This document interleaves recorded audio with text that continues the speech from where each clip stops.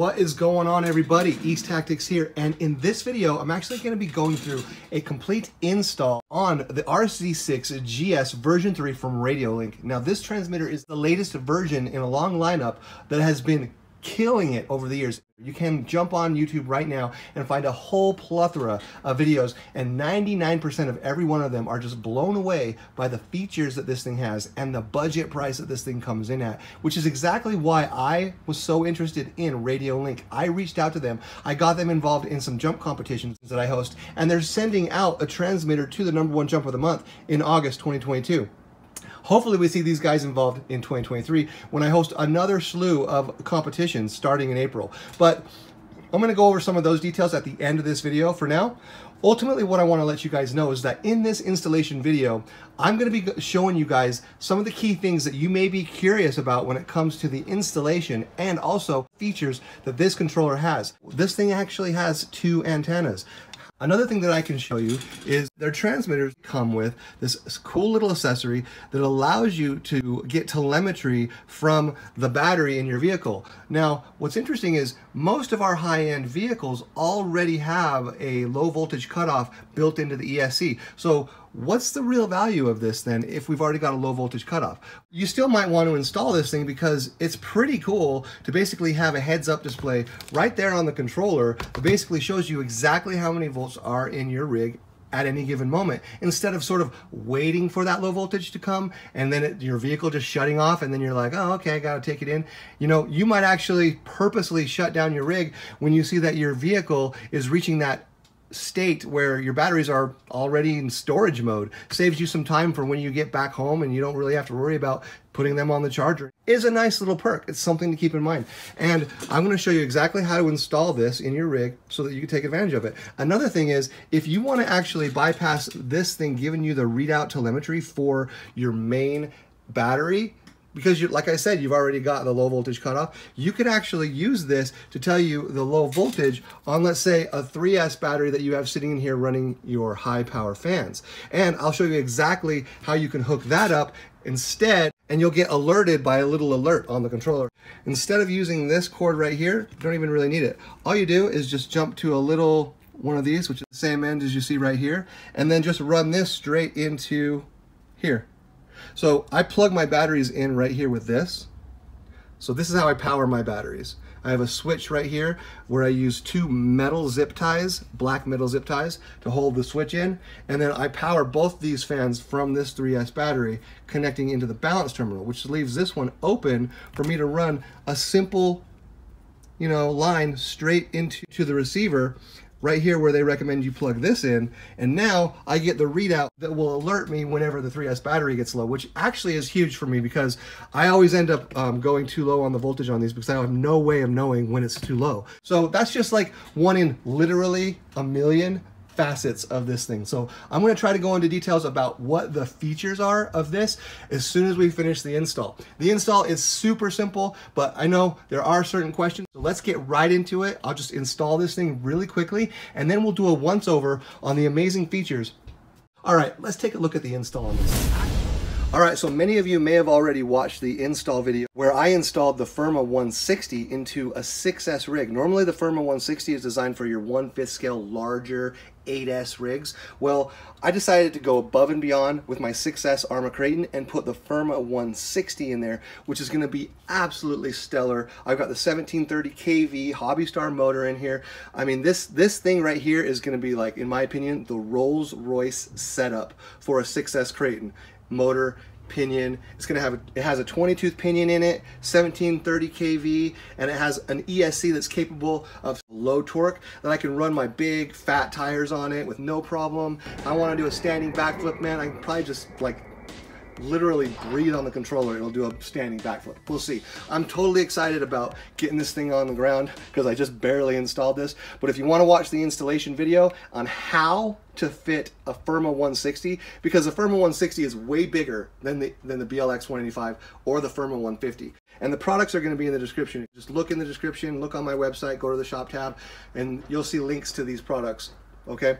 Now, Naturally, one of the first things that you'll do is you'll go, you'll take the cap off of your receiver box, set it aside. Let me just kind of pull this tight so it stays out of the way.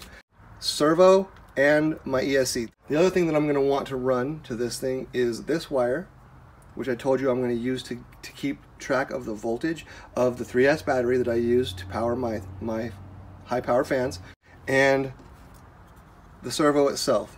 Those are all the wires that are going to be going and being squished down into the little gap that's provided on the side of your receiver box.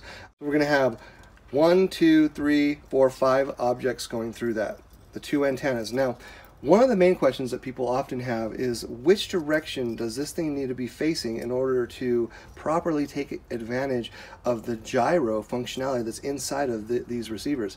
That's one of the coolest perks of this setup is you have the option to take advantage of what is the equivalent of AVC.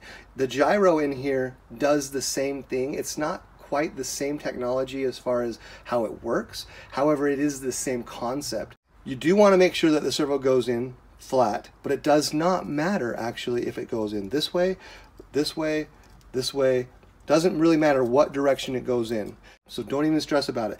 So one of the things that you'll notice is you can't even fit this thing in here like this anyway because the little stubbies here just make it too fat. It, it won't it won't go in. So you can go this direction if you wanted, but it doesn't make a lot of sense to go that direction because your antennas need to come out somewhere, right?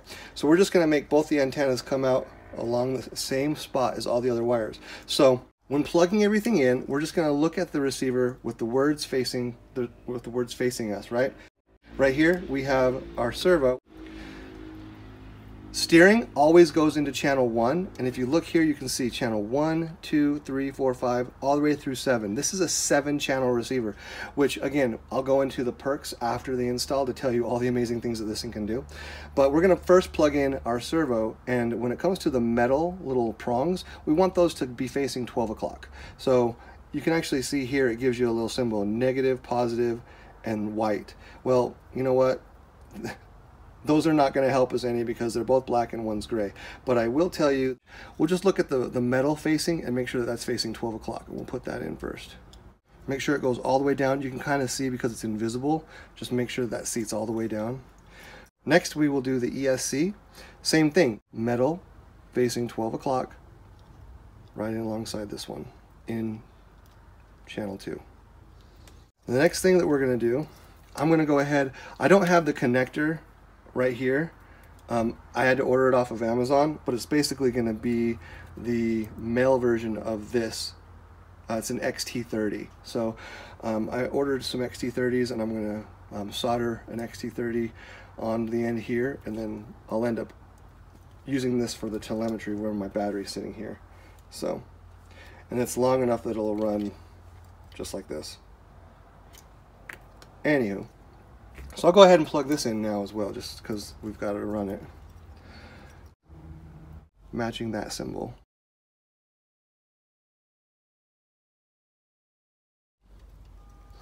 All right.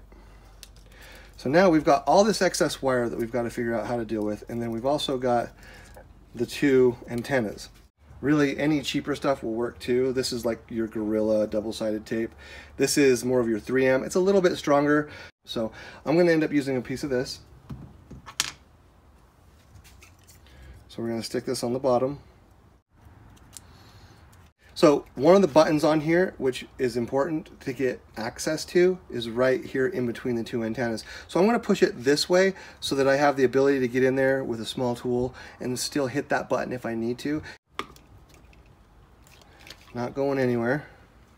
And then the other thing that I'm going to be putting in here when I'm done is um, a squishy piece of foam that I will set up on top just to provide cushioning in here for the wires and stuff like that bumping and bobbling around. Okay, so the next thing that we need to do is simply get all of these wires ran through and I want as much of the wiring that is excess just to be inside the box tucked away. So the antennas themselves. All right, so next is the idea of the antennas. So the antennas, it is very important to, if you look at the instructions here, it shows the antennas actually need to be 90 degrees away from each other. But it can be confusing because it kind of leads you to think that the nine the antennas from the moment that they leave the receiver need to sort of be kind of jutting out 90 degrees from each other.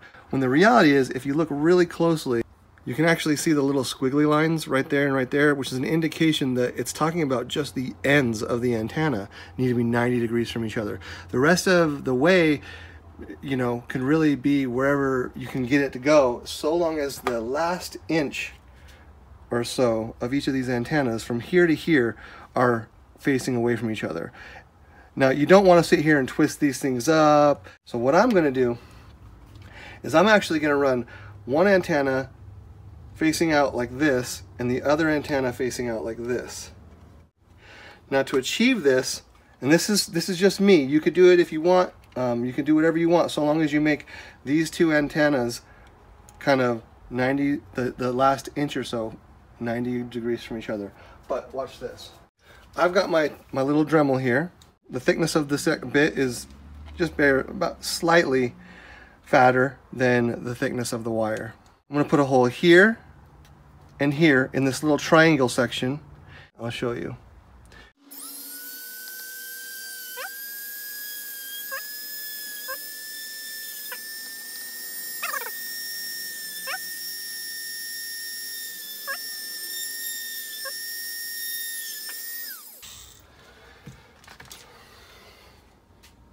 So the first thing I'm pushing down through the little um, grommet here is the antennas.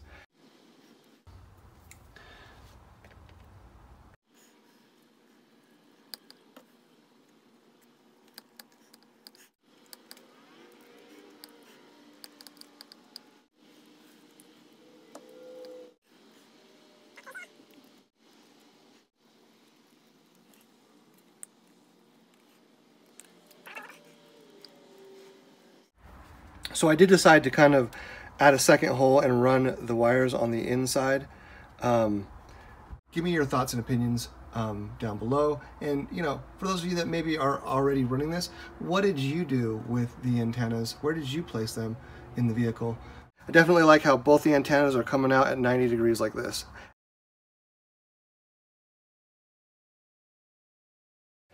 All right, so now let's get this wiring dealt with.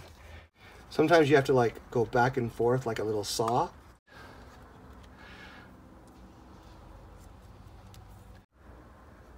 There we go. There we go. All right, so now we have it installed. Everything is plugged into the right place. I still will be able to get in there and hit that little button so I could show you how to activate the gyro functionality. Let's talk a little bit about the actual controller itself and the batteries. One of the coolest things about this, you can actually put a 4S battery inside here instead of using your AA batteries. You know, going through six AA batteries when you need to pop them in is sort of like a nightmare. And a 4S battery in here, you can do anywhere from 2S to 4S in here.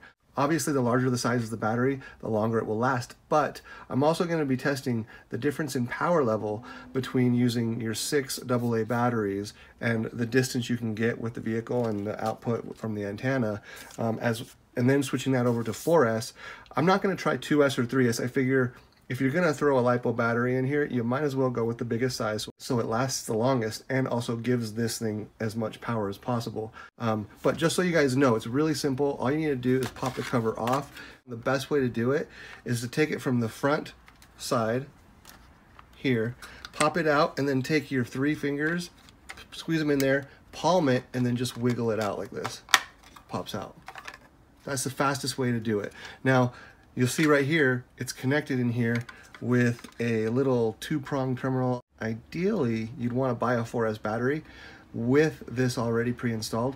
If I can find one, I'll put it in the description and you can just have quick access to it, the same one I buy. Whichever one I buy, no matter what, I'll put a link in the description. I'm gonna find one that fits in here, um, a 4S battery that fits in here the best. All right. We're going to get this thing bound and I'm going to tell you a little bit about the uh, receiver itself and the binding process and what different modes are accessible for you as an RC enthusiast. So the fact that there are five additional channels on this receiver. In fact, when I originally got my RC and I had a different controller, I was actually using this right here, which is just a two channel receiver. So basically there's really no functionality. You, you can use one channel for your steering, one channel for your throttle, and you're done. So being able to elevate your game to something like this, which is the receiver that's currently set up with the Radiolink. This bad boy literally has seven channels. I mean, look at all those inputs. And then on the side here, you see one through five, and then you also see uh, channel six and seven could be dedicated to PPM, which is basically pulse position modulation, or S-Bus. So let me give you a quick overview of the differences between PPM, what we would call PWM, and S-Bus. So PWM is basically pulse width modulation. This is your standard ground vehicle. It's going to take advantage of all seven channels are going to be dedicated to whatever you want to dedicate that channel to. We have all these different buttons and, and stuff that are available even a dial, we've got a but we've got a dial here, we've got a button here that has three positions, a button here that has three positions, and then we have a button here that has two positions and a button here that has two positions. So all those different buttons can be programmed to whatever you want. Like I literally could take my fans, have them directly go into the into the receiver box, plug into this, you know, in channel, let's say, um, well, let's see what number this is right here, one, two. So I even I even drew a little diagram here to help me assist. So these two little toggles, that's B and C, or you can see channel 5 and channel 6. So basically channel 5 and channel 6, I can make this button literally just like, like this, and it will turn on this fan. And then I can hit this one, and it'll turn on this fan if I wanted. Um, I currently don't do that because I like to plug my fans instead of plugging them into the receiver, which would output 8.4 volts to these. I would much rather um, hook my fans up to a 3S battery, which we've talked about. So that's just that though. If I end up wanting to put, like right here, I have a little kit for little LED lights that one of these days I just plan on throwing into my vehicle and I'm gonna be able to hook those up to like a switch. And what's even cooler is not only does Radiolink have switches and buttons and stuff available to dedicate to these channels, but they've also made these switches and buttons more than just your typical on and off. You can actually set this one to have three positions, like low, medium, high, or you can have like off, neutral, on, whatever do some unique stuff. Like if you might have three different settings with your LED lights for brightness or something like that, um, you can mess with it that's the thing. You can do so many things with the different switches. Now, in addition to that though, they've also got a switch here, which has a functionality that you can adjust between um, different modes. So right now, if you press the button and hold it, it'll it's considered to be in the on position. But as soon as you let it go, it's considered to be in the off position. So depending on if it's being held in will determine whether it's on or off. So there's some functionality variance there. Whereas this one, when you press the button, a little light turns on. You press the button once and the light goes off. So basically pressing it turns it to an on phase. Pressing it again turns it to the off phase. So a different variation. Now, you can actually adjust this to be the similar setup as this button to where it's if you hold the button in, it'll be on and if you let go, it'll be off. Similar with this one, you can adjust the phase there. So the programming functions are all going to be available in the setup here when you, you know, and I'll go over the setup stuff here in a minute, kind of show you some of these things. Long story short, guys, is when you don't realize that you can spend 70 or 80 dollars and you know with a discount code with a discount code that I'm going to be giving you guys today you can save another 10% and get this thing for quite frankly the price you probably would buy this for if you were to search this up on Amazon and buy this setup right here bam bam it's probably going to be maybe 10 or $15 cheaper. Why not spend another $20 and literally get your mind blown by the features that are available with this controller. And that's not even to say that this thing right here has a range or a connection quality. This one will go about 130 meters before you lose connection. This will go up to 600 meters before it loses connection. And I'm gonna be showing a video that literally tests this here really shortly. But first, complete the installation process on this and get it bound so I can show you how to set the, the bind and also, you know, if you want the gyro to be on, if the, if the phase of the gyro is reverse for you, how to switch it and things like that so that you've got it set up the way you like it. So um, let's do that. There are four separate modes on this transmitter. For a basher like myself, you're gonna either use mode one or three, which is basically the PWM, which I told you is pulse width modulation. Now, these two here, mode two and four, they still will do the PWM for the first five channels, but what it does is it ends up uniquely changing the last two channels over to PPM and S-Bus. So PPM is pulse position modulation. You would use this if you were controlling, say, a robot or something like um, that has those like side strafing wheels on it, the, you know, weird things like that. S-Bus, uh, just in a nutshell, is basically PPM, but it's just a little bit more, from what I understand, it's a little bit more finicky, that's all I really know about it. But we don't even really need to worry because we're gonna jump straight from phase one to phase three. So when you turn the controller on and go to bind it, once it's bound, it'll automatically be set with a green light. You'll be set in PWM mode, which does not use the gyro, and all seven of these channels will be at your disposal. Of course, two of them are gonna be used up for steering and throttle, and then you'll have five channels, and the PPM S-Bus on six and seven won't be activated. Okay. Now, if you want to transition over to mode three, which is the other PWM mode, it, the only difference is it's now using the gyro. So all you need to do is hit this little button right here three times in quick succession, and we'll do that here in a second. It'll automatically transition from one to three, and it'll basically PWM output with gyro and you'll be good to go, okay? It's gonna come in mode one, we're gonna switch it to mode three. I actually do want to activate the gyro in this, in this setup because the gyro is a feature that you can completely turn on or off depending on your choice, even if you have it activated. Simple as taking this dial and turning it all the way like this, bam. The, the gyro is now 100% off. And this is another thing too that I want to point out in the Spektrum arena, because if you're rocking the stock controller um, and you decide to activate your AVC and you don't have something like this right here, which is the Spektrum DX5, which has the ability to go in and deactivate like the AVC on the throttle, then you're basically stuck using AVC or this sort of brain technology not only impacting your steering but also impacting your throttle. And it, it, completely just gives you a bad taste in your mouth when it comes to what avc is. You're automatically going to have no options to go in and get rid of the the control that it has over the throttle. What's nice about this setup right here is it just it just has to do with your steering. There's no control there's no control here of your throttle. You can go into the settings and do things with your throttle that, you know, are up to you if you want to do some unique things with the throttle with this Radiolink controller. So just kind of know that. I'm not sure if you were aware. In this Radiolink setup, the gyro only has to do with your steering. It's just going to help you out with those rocky and bumpy, um, sandy, you know, hole-ridden terrain areas where you're finding that the steering assist is actually pretty nice. And again, why not set it to mode three and you know just turn this thing all the way down if you don't want the gyro to be on. Now, one of the reasons people have a small problem with gyros in general when it comes to bashers is because, you know, as a basher, we ourselves find our rigs to be in the air like for a lot of the time.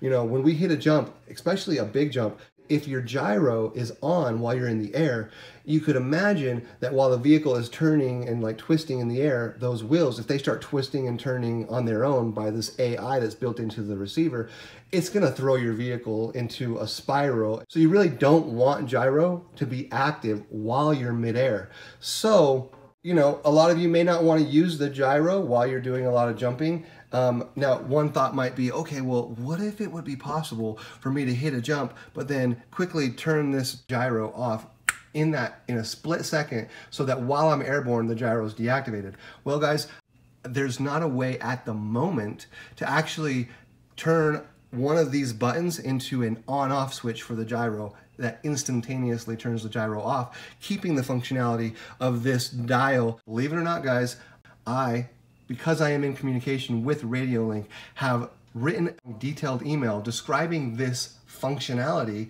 if they could incorporate it in their next firmware update or their next build, let's say the RC6GS version 4, and they make it to where, let's say this button right here, you could program it to where when you press the button, it'll turn the gyro off.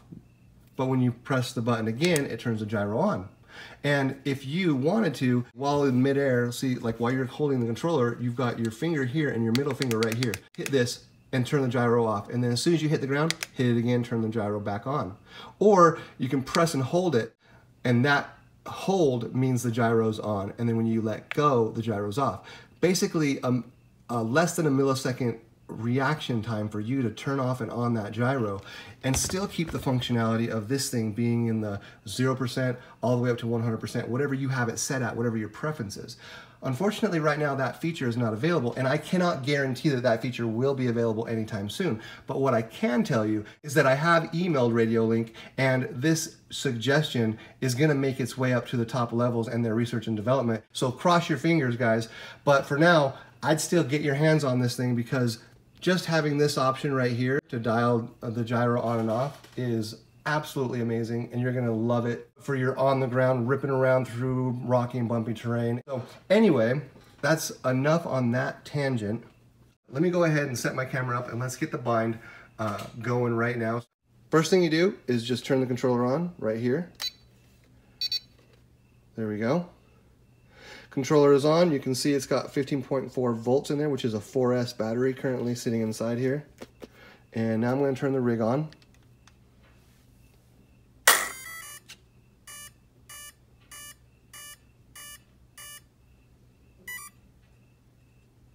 So from the looks of it, I'm actually already bound, which is, I guess I won't be able to actually show you guys how insanely easy it is to bind it because it's already showing up right here as a red light, which is the color for mode three, which again is that setting for having the gyro on and there's classic PWM mode.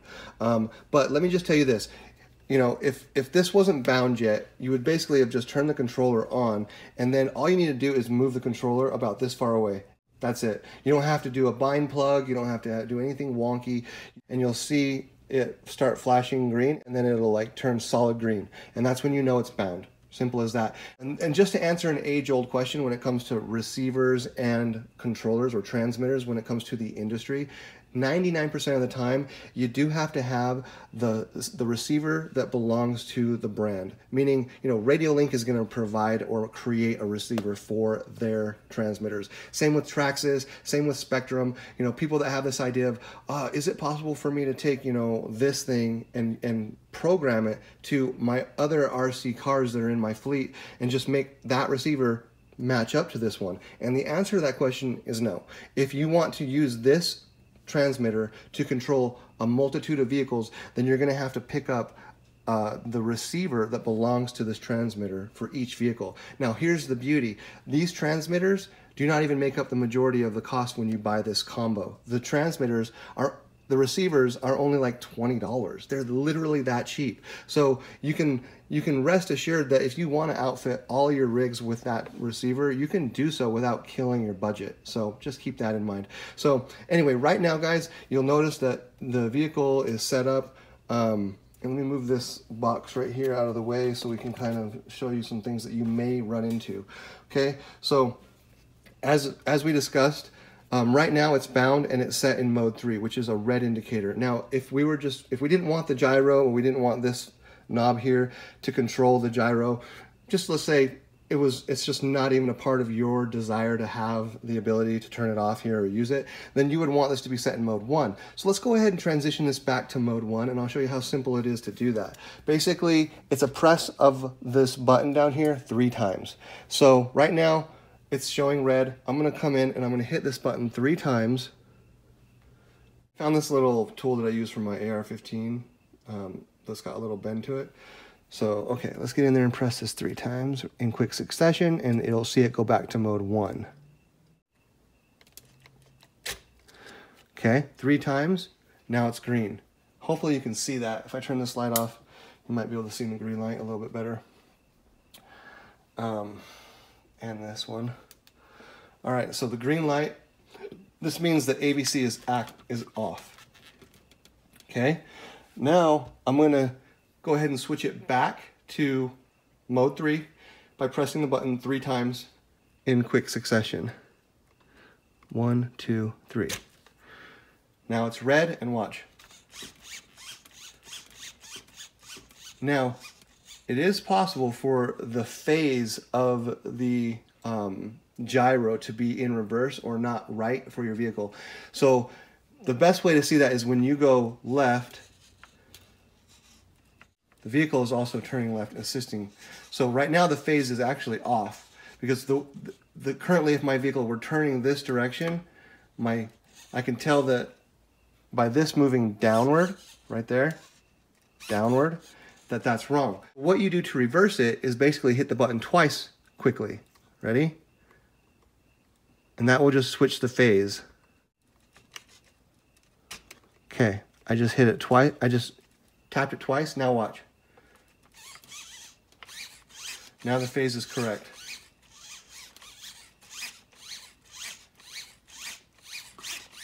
And again, I can adjust this phase all the way down to, let's say, like just 10%.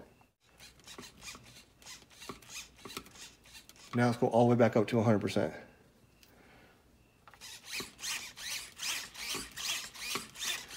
So you're going to be able to, on the fly, adjust how much you want this, this gyro to impact you. All right, so right now I'm going to go ahead and I'm going to go ahead and just shut my vehicle off.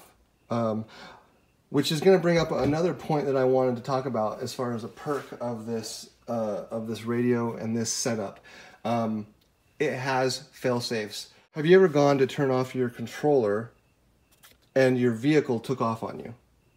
Because you have to be super careful if you turn the brains off before you turn the car off and vice versa. Well, one of the most beautiful things about Radiolink and their transmitters is they've got a built-in fail-safe system that is not only set by default to prevent that from happening, but it's also completely customizable to where you can actually go in and do some pretty unique things with fail-safes on the different channels. So, but right now, watch. I'll go ahead and turn the vehicle off. And the vehicle didn't go haywire. That right there is worth its money. Just that one feature is enough to say go out and buy this receiver. The fail-safe that failsafe thing is just to me it's it's clutch and I don't know why it doesn't exist in your stock stuff. So well guys, that pretty much buttons up everything that I needed to say on this video. I know it was really long, but I went through this thing multiple times thinking of ways to shorten it up, but all the things that I had to say were really important. So that's why I put bookmarks in for you to basically jump around if you want to. And there's still the video that I'm going to be dropping showing you in-depth details on each one of the programming features stay tuned for that because guys, it's gonna give you a lot more of a better understanding so that when you pick up this thing, you'll know exactly what, what it can and is capable of doing. So I know I mentioned in the very beginning of this video that I would also reiterate that Come April next year, we will be doing another group of jump competitions. And Radiolink is poised to be part of the sponsorships support the East Tactics channel and the jump competitions by buying one of these because that's going to go a long way to secure them for next year. 10% off. Take advantage of it right now. Look in the description, pick it up. Keep your eyes peeled for that next video that's going to show a couple of new caveats about this controller because there still is more to say. Can you believe that? Anyway, guys, keep it real. East Tactics out.